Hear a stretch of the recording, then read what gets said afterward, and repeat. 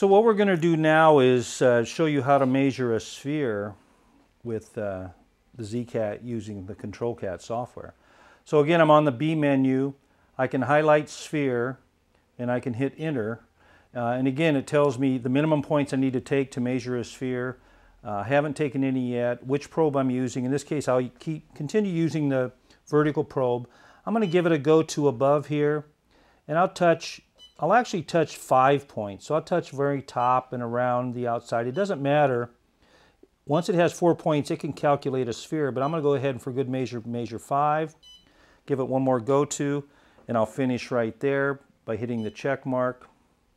Again, as soon as it's flashing, I'll put it in my session. I can highlight it and I can run, and it will now measure that under DCC, under control speed, uh, which will give us the accuracy we're always looking for with a ZCAT.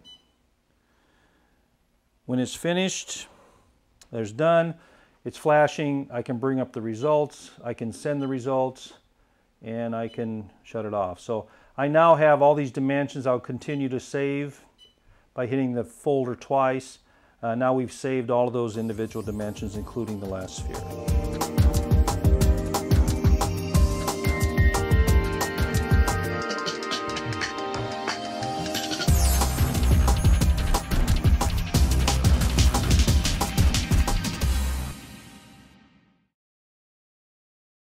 Where does my head?